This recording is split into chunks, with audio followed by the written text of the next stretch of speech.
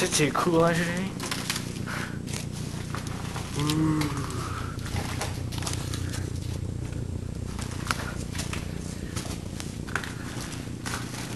Wow.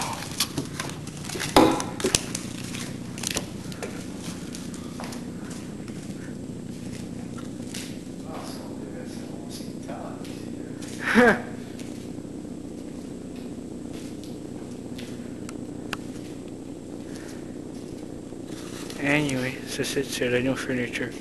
It's cool.